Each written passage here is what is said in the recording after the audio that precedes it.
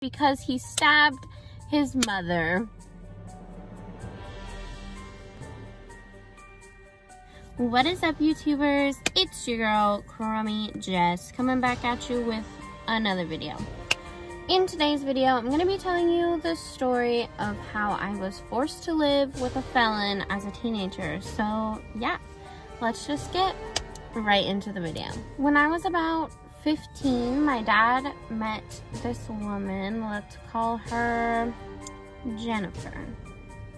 Jennifer was nice enough at first. We didn't really get along for a lot of the time that she was dating my dad, but that's a whole other story time. Jennifer had two sons who did not live with her at the time that she ended up moving into my house. Um, one of her sons was living with his dad in a different state, and the other son was in a correctional facility. Although I asked a hundred times why he was in there, nobody wanted to tell me, which I thought was really weird, but I never had to meet him or never thought I was going to meet him so I didn't really care that much. Fast forward maybe a year and a half, I was 16 and he was getting out for four days to come visit some family. I'm not exactly sure what it's called, I don't really remember, but I just know that he got out for four days and then he had to go back. And whoever was responsible for him in those four days had to sign paperwork saying that if he ran away or tried to like skip out on going back to the correctional facility, then um, they would be partly responsible or whatever. But anyways, in these four days, he came to stay at my house. And of course, I was really freaked out. I was 16. He was, I believe, early 20s, maybe like 23, but I'm not 100% sure. Like I said, I don't get along with him very well, so I didn't really care to ask questions. He stayed for four days, and during those four days, I felt extremely uncomfortable in my own home. Uh, he was always watching me, he was always standing behind me no matter what I was doing. If I was sitting on the couch, he was standing behind the couch.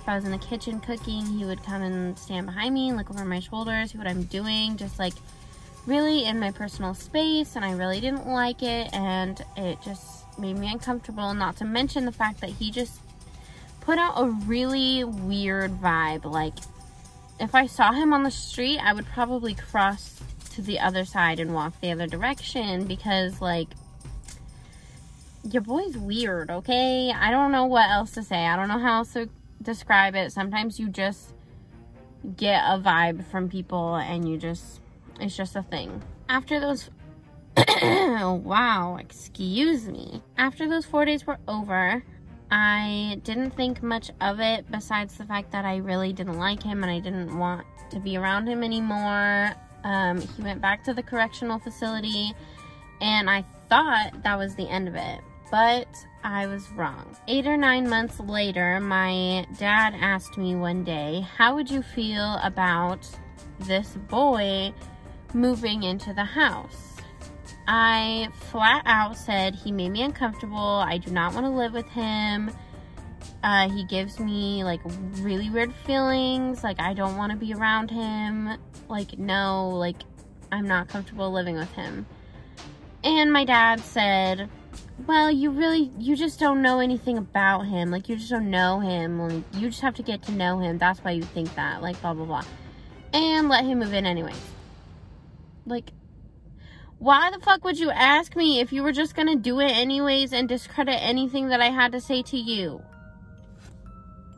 What the fuck?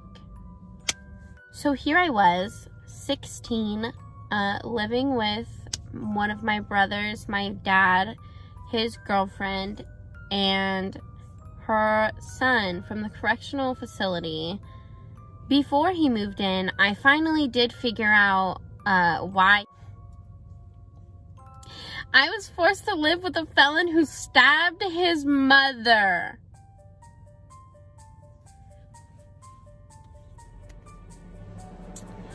So, he moves in, and I am furious about it. Him and I fight constantly all the time. Um, it was the creepy behavior just got worse and worse the longer he lived there. Um, he I would go to the bathroom and he would stand outside the bathroom in the hallway. He used to also do that to uh, one of my brother's girlfriends at the time. He would stand outside the bathroom and he would like stand behind her, like I said earlier. I remember one instance when I was sleeping and I always slept with my door shut after he moved in because I, uh-uh, I did not want to put myself in a situation where he could come into my room while I was sleeping, but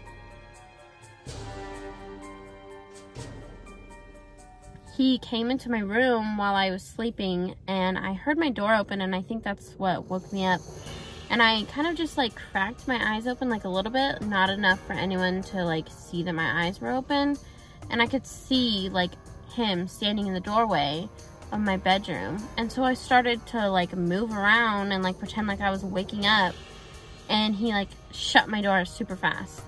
And I know for sure that it was him because I got up afterwards and I like went into the kitchen and I went into the living room and my brother was not home and my dad was not home. His girlfriend was asleep and he was the only one there other than like my dad's girlfriend and it wasn't her so bitch was watching me while I was sleeping. What the fuck? Things got worse when him and his mom started to get into worse and worse fights every day. He didn't have a job or anything, so he would just lounge around the house and do nothing, play video games and watch TV or whatever all day. And uh, this didn't fly very well with anyone living in the house. They all wanted him to do chores, they wanted him to cook dinners, give something to the household that was housing him for fucking months just so he could be creepy. But you know, that's fine. I remember once they got in a fight while I wasn't home and he ended up hitting her or shoving her or something along those lines and I was furious but of course I couldn't do anything about it because I was only 17 at the time and what am I gonna do about it like him and I would get in screaming matches all the time over stupid petty shit because I was a teenager and I guess he had the mental capacity of a seven-year-old.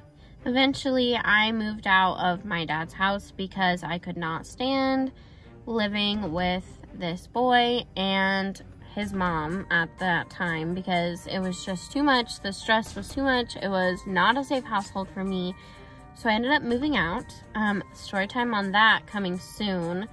But this boy ended up actually moving to the other state to live with his brother and his dad. Not his dad, but his brother's dad. But now he's back and he's living in my dad's house again. Isn't that just great? Yes. So, uh, Raceland, I'm gonna say your name. If you're watching this, just know that I hate you and I hated living with you. Anyways, that is the story of what it was like living with a felon when I was a teenager. So yes, um, thanks for watching. If you liked this video, please give it a thumbs up, share with your friends, and comment down below if you've ever had to live with somebody like this who is just all around a creepy person. Anyways, thanks for listening, and I will talk at you later. Bye.